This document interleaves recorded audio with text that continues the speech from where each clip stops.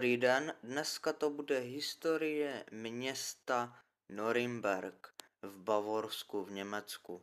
Přesné okolnosti založení města nejsou známy, ale předpokládá se, že proběhlo v letech 1000 až 1040 průběhu opevňování pohraničního území mezi Saskem, Bavorskem, východními Franky a Čechami v místě průčečního důležitých strategických cest.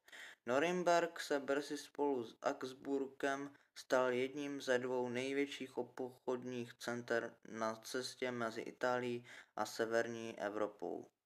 V nedávné době však bylo v jižním okolí hradu objeveno několik osad. Mezi tato centra patří dva pravděpodobné královské dvory v okolí svatého Egidiena, svatého Jakuba a také prostor mezi kostelem svatého Sebalda a hradem.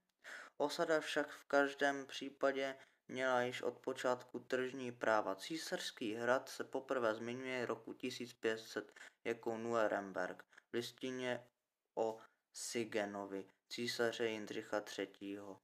Od roku 1050 do roku 1581 se město díky své výhodné poloze rychle rozrůstalo.